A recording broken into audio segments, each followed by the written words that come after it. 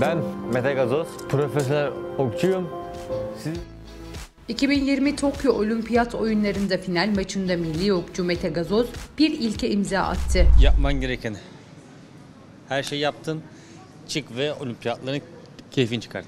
3 yaşından beri okçuluk ile ilgilenen Mete Gazoz, kendine özgü sempatik hareketleriyle dikkat çekerken ülkemize madalya getirmeyi de başardı. İtalyan Mauro Nespoli ile finalde karşı karşıya gelen milli sporcumuz Tokyo Olimpiyatlarında İstiklal Marşımızı tüm dünyaya dinletti.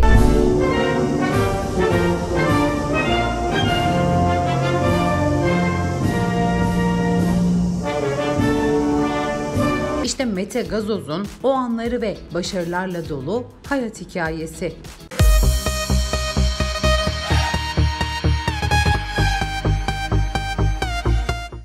...2020 Tokyo Olimpiyatlarında heyecan devam ediyor. Birçok alanda sporcu gönderdiğimiz olimpiyatlardan başarı haberleri gelmeye devam ediyor. Çok önemli tabii. Onu da kazanmak istiyoruz ki gruptaki yerimizi iyicene garanti edelim ve e, ona göre karşı rakipten gelecek e, takımlara göre e, mücadelemizi devam ettirmek istiyoruz. Bu başarılardan biri de 8 Haziran 1999 tarihinde İstanbul'da doğan milli sporcumuz Mete Gazoz'dan geldi. ben hep kendim yarıştım. Hep kendimi geçmeye çalıştım. Örnek almaya değil de örnek olmayı tercih ettim her zaman. Her zaman kendimden İlk okunu eline 3 yaşında alan Mete Gazoz, 6 yaşında okçuluk sporuna ilgi duydu ve dersler almaya başladı.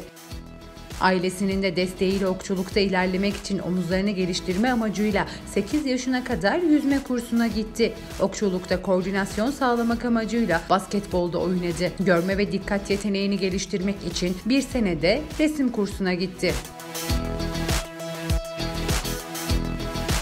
Göz ve el koordinasyonuna katkı sağlaması amacıyla piyano kursu alan ve 2 sene piyano çalan Gazoz, sanatın ve sporun çeşitli dallarında eğitim alarak kendini geliştirdi. Okçuluk eğitimi alan ve kariyerini İstanbul Okçuluk Gençlik ve Spor Kulübü'nde devam ettiren 19 yaşındaki Gazoz, ilk defa Bakü'de düzenlenen Avrupa oyunlarında Türkiye'yi temsil etti. 2016 Nottingham Avrupa Şampiyonası'nda bireysel olarak gümüş madalya kazandı. 2016 Rio Olimpiyatlarında ülkemizi temsil ederek ülke çapında üne kavuşan Gazoz, yerli sporculardan da destek gördü. Son olarak Rio'dan beklentini sormak istiyorum. Ben birincilik bekliyorum kesin. Teşekkür ediyoruz. İnşallah başarılar diliyoruz sana. Özellikle Arda Turan'ın sosyal medya hesaplarından Mete Gazoz'la ilgili destek mesajları Mete'nin büyük çapta tanınmasına ve desteklenmesine olanak tanıdı. Mete, Arjantin'de gerçekleşen Dünya Gençler Okçuluk Şampiyonası'nda karışık takım klasik yay kategorisinde Yasemin Ecem Anagöz ile beraber dünya üçüncüsü oldu. Yere bakıyoruz sağda 8-9. Karşıya çıksın. Aferin.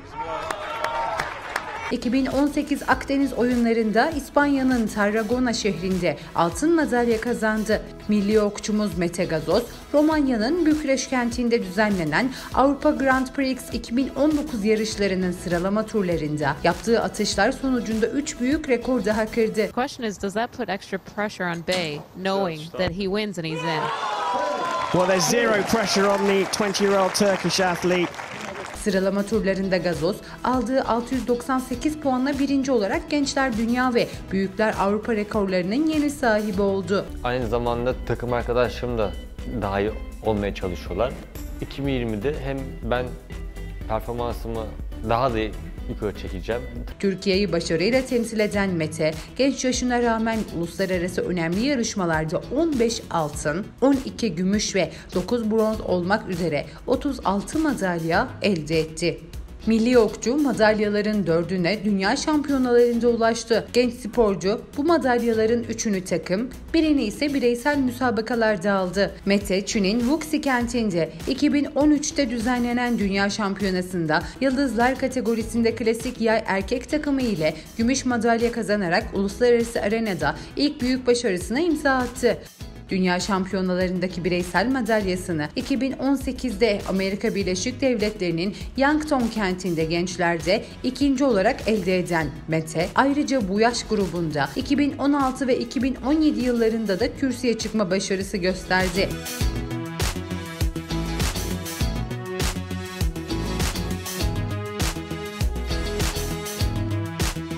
2020 Tokyo Olimpiyatlarında Yumanasima okçuluk alanında 29 Temmuz Perşembe günü yapılan ilk tur maçında Lüksemburglu Jeff Henkels'i, ikinci tur müsabakasında ise Avustralyalı Ryan Tayk'ı yenen Mete Gazoz son 16 turuna yükselmişti. Milli okçu sabah seansında son 16 turunca Avustralyalı Tyler Ward'u geçerek çeyrek finale kaldı. 22 yaşındaki Mete Gazoz bu turda da dünya sıralamasında bir numara olan ABD'li Bright Ellison'u eledi ve yarı finale adını yazdırdı. Yarı finalde de Japon Takaharu Furukawa'yı mağlup ederek finalist olan Mete Gazoz, İtalyan Mauro Nespoli ile altın madalya maçına çıktı.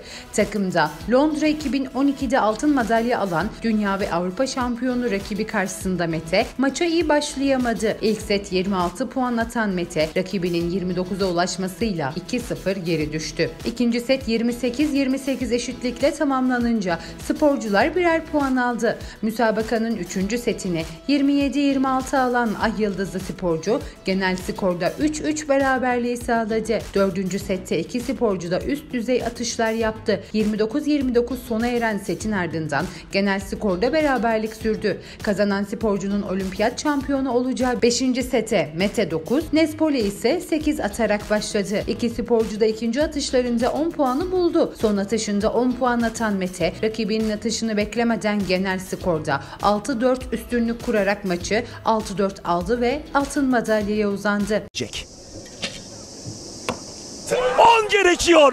10 atıyor. Altın madalyayı kazanıyor Mete. Harikasın Mete harika.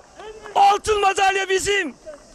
Bu sevinç esnasında Bakan Kasapoğlu, Tokyo 2020'de ilk altın madalyayı elde ettiklerinde Mete'yi tribünden tebrik etti. Mete! Mete! Mete! Aslanım benim. Hamdolsun.